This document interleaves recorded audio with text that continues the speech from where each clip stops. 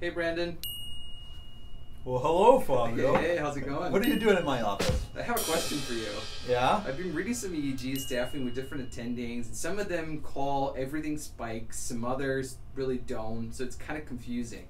Well, I think I know what's going on.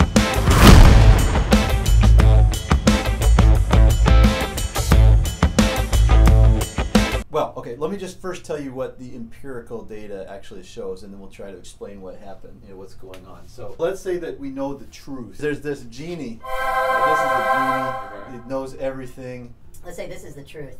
So we, if I if I show you a waveform in the EEG, it's either a spike or it isn't, and the genie knows the truth, Okay. right? And then you're attending, you know, um, we'll say it, e- it either is or isn't a spike, and so if it agrees with the genie when the genie says it's a, is a spike, that's a true positive. Mhm. If it agrees with the genie when the genie says, you know, the omniscient genie says it's not, that's true negative. Okay. Otherwise, um, if the truth is positive and we say, you know, your attending says no, Mhm. that's a, a miss or a false negative. The genie says no, Mhm. attending says yes, that's a false positive, Okay. right? We've got sensitivity and false positive rate, right? So how are these? Turns out that these are always related, right? So unless you're the genie, uh, there's going to be um, you can't you know you can't have zero false positive rate and uh, perfect you know sensitivity.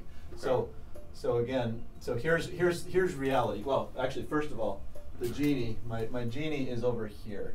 Okay. He's a hundred. So this is a hundred percent sensitive Uh-huh. and zero percent false positive, right? Mm, All right. okay. Well, okay, but if you're just a mere human, uh, or you know, just a mere attending, Mhm. um, you're going to live somewhere on a curve, right? So, where you can sort of choose to have smaller false positive rate. So let's say you have a conservative attending, but they're an imperfect person.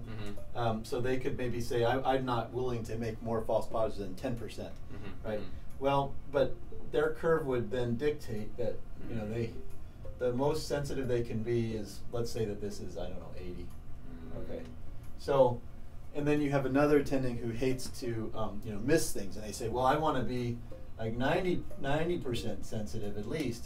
Mhm. Well, then I'm sorry to say that their false positive rate has to be, you know, at least like, this looks like 40% to me. So, Gotcha. so when you look at, if you have, we have a gold standard that we've been able to create of a lots and lots of spikes from lots of people, Mhm. and we've had eight different, you know, independent, subspecialty trained. Respectable attendings. The Super 8. The Super 8, they've, they've scored these things, Uh-huh. and although they all believe that they are, you know, perfect, Yeah. and they all tell you how to change your report when Right. you read it, what happens is, uh, here's what happens when you plot there. So each one of them has a false positive rate and a sensitivity Right. that we can measure. Okay. So it turns out that they are all actually at, you know, they're all very close to a single curve. Interesting. So- why, why is that? Why, why do they follow the same curve? That's Ah, weird. I'm glad you asked. Here's what, what, what we think actually goes on in, in their minds. Okay. Right. So the genie, when it sees the EEG, Mhm. it in its mind there's this you know some amount of evidence. Let's call that evidence Z because Z rhymes with E and E is for evidence. Okay. Um, and so the genie perfectly sees this, and, and, and basically what the genie does is it says, look, if is that's if the evidence is greater than zero, Uh-huh. then say that it's a spike. Okay. Okay, because this this evidence is sort of centered so that you know if it's above zero, that's more likely to be a spike, and if it's less, you know, then if it's less than zero, that's not a spike. And it's Okay. always right. And it's always right because it's the genie. Okay. All right. Well, okay. So what about your attendings? What do they do? Mhm. Okay. Well, the attendings they don't get to see this perfect, you know, beautiful Z. Yeah. Um, so what they see is they see, um, call it Z noise. Okay, so it's a noisy version of Z, Okay. and so that they see the truth, but plus some little Mhm. other thing get added to it. This is this is noise. So Okay. if I see, you know, I see an EEG, and then in my mind there's some, you know, that makes me see it imperfectly. Yeah. But I still follow the same rule. You know, if I if that that you know perfect Z plus Mhm. is more than zero, I say Mhm. there's a spike. You know, um, Okay. and if otherwise, I say there's not a spike. Gotcha. Now, But is that noise the same for everybody or no? so the interesting thing is the noise is the same for everybody. Huh. Okay, so if this was all, if this was the right, if this is what was happening only, Uh huh. what we would see is that all the attendings would basically be. It turns out they would be like right here. Yeah, that's true. Okay. All right. Yeah. But but the cool thing is that's uh, what I said is they actually would be right here. Mhm, They wouldn't mhm. be like in you know somewhere off this curve. Of course they're they're, they're actually not all right here. Mhm. So so actually what what what attendings do is they say Mhm. actually you know again some of them would rather be you know let make fewer false positives and so they say actually you know for me Mhm. my rule is going to be only when the evidence because I know I'm not the genie, right? So Right. I zero is if I'm at zero, I know I'm going to make more false positives than I really want to. So Mhm. I'm going to choose some threshold. Let's call that Mhm. uh, theta, right? So okay. um, they say, well, I, I'm going to make it a little higher so that I make fewer false positives, and so that means that instead of you know here, I'm going to operate maybe down here Mhm. or down here so that I, I won't be, Mhm. I'll be an undercaller because Mm. some Okay. people believe it's better to be an undercaller, right? And Okay. they, they'll tell you that's the gospel. Yeah. Um, okay. If it's less than the threshold, then I will say not a spike. okay. Um, and the threshold is low in that case. in this case, no, the threshold's high, right? So it means the evidence has to be quite a bit, you know, above where I'm uncertain uh, for me to say yes. And so as a consequence, I'm going to be down here on the curve somewhere. Mm. But then, you know, you have other people who say, well, I'd rather not miss anything, and so they choose a, a lower threshold, like just to be to make it really clear what I mean. Like, let's say I wanted to never miss anything. Uh-huh. Where would I set my threshold? Minus infinity, Right. right?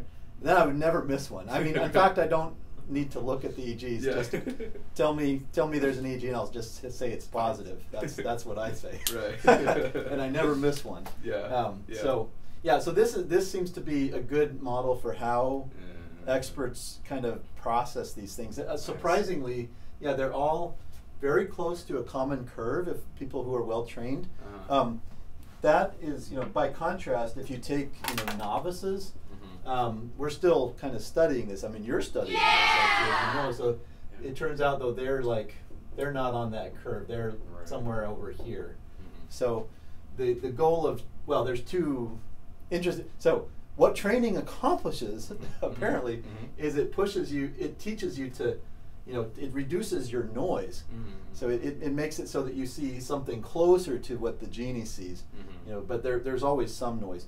The thing that training apparently does not accomplish, Mhm. uh, you know, not yet, Mhm. is it doesn't tell us which threshold to pick. Mhm. So apparently everybody feels free to just choose whatever threshold they want, and you know, some are more, some are overcallers and some are undercallers. Mhm. Um, that does not reflect your skill, right? The Mhm. skill is a matter of how much noise, but it reflects this sort of freedom to choose this, you know, uh, threshold. And but that's still a big problem, right? I mean, we don't, we have to get to some agreement on where the right threshold is. Otherwise, when you when you bring your EEG to one attending, it's going to be positive, and when it's to another, it'll be negative. That Yeah. that won't happen for the extreme cases where it's Right. really clear and everybody agrees. Right. But for these intermediate cases where, you know, there's some risk of making a false positive, it would it would be better if we were consistent. Right. And it Um, changes patient care too. Yeah, yeah. Right. So you'd, you'd rather this, you know, just as an example, if you Yeah. if you were to send the la- you know blood to a lab, you know, to check the Mhm. sodium value, Right. how would you like it if you know some days one attending reports the sodium value as and they're like an overcaller, so they they say it's high, you know, and the same blood, and you send it to another person, they say, well, I I like to have lower sodium Right. value, right? So that would be Doesn't terrible. work, You'd, you'd rather just have it be whatever it is, and then Right. And then you can interpret it in context, knowing that there's some you know, true and false positive rate that's that's reliable, right? Right. So, un- unfortunately, as things are, Mhm. though it's random. What what what where someone's operating, if you don't know who the attending is, could be, or you know the the EEG reader could be a bit random. Right. So even if they're highly skilled, uh, that's a source of unwanted variability. We gotta we gotta crush. Right. Right. Okay. So residents. Or we can Mhm. become genies, and then then we don't have to worry about noise. Anything. Yeah. Yeah. Okay. So fellowship or residence residency will fix your N. Yeah, yeah. That this Right. this in will, the whole result of fellowship or, Uh-huh. well, yeah, is to make your N small. Your- Right. make the, the the yeah the the amount of noise that's getting added small. Gotcha. Yeah. But we need to make up our minds as far as the theta because then we can teach trainees. Yeah, we have to, as a field, uh, find ways to make people, nor you know, uniform with respect to their the thresholds that they're using. Gotcha. Yep. It's beautiful. Thank You're you. beautiful. Thank you, Brandon.